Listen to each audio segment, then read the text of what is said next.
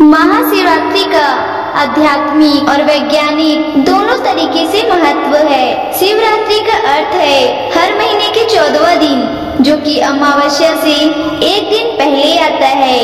एक वर्ष में 12 से 13 शिवरात्रियाँ होती है। इन सभी शिवरात्रियों में से वो शिवरात्रि जो फरवरी माह के महीने में आती है उससे महाशिवरात्रि कहते हैं। ग्रह की उत्तरी गोलार्ध में उस दिन इंसानी सिस्टम में ऊर्जा स्वाभाविक रूप से ऊपर की ओर बढ़ती है। हर जीव अपने भीतर ऊर्जा को ऊपर की ओर बढ़ते हुए महसूस करता है। इस ऊपर उठती हुई ऊर्जा का केवल वही प्राणी सही से उपयोग कर सकता है, जिनकी रीढ़ की हड्डी सीधी है। मानव होने का हमारा सौभाग्य है। केवल हम ही एक ऐसी प्रजाति हैं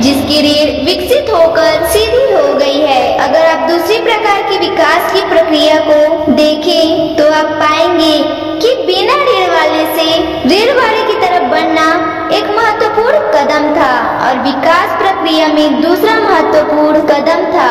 रीढ़ का आड़ी अवस्था से खड़ी अवस्था में आना।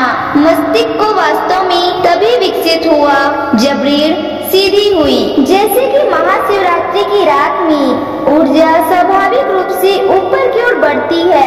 रात भर रीढ़ को सीधी रखने से ज़बरदस्त लाभ होता है। ये उनके लिए विशेष रूप से फ़ायदेमंद है, जो मार्ग पे हैं, पर ये उन लोगों के लिए भी महत्वपूर्ण है जो पारिवारिक स्थितियों में हैं और साथ ही दुनिया में उन लोगों के लिए भी जो महत्वाकांक्षी हैं।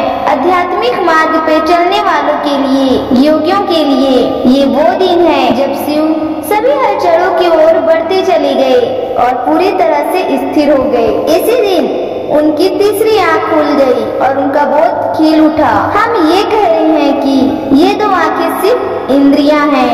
ये आपके आसपास के भौतिक अवस्थों को भी दिखा सकती है। लेकिन अगर आप भौतिक पक्षों का आधार देखना चाहते हैं, अगर आप उस सूक्ष्म माया मोह को देखना चाहते हैं, जो प्रकृति की भौतिकता से पड़े हैं, अगर आप उसे जानना चाहते हैं तो आपको बोध की एक अलग आयाम की ज़रूरत है। बोध का वो आयाम जो भौतिक से परे है, उसे तीसरी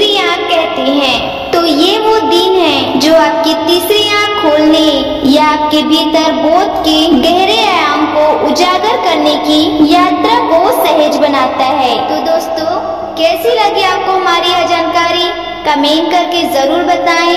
और अगर आपको हमारा यह वीडियो अच्छा लगा हो तो वीडियो को लाइक और चैनल को सब्सक्राइब करना बिल्कुल भी ना भूलें। धन्यवाद।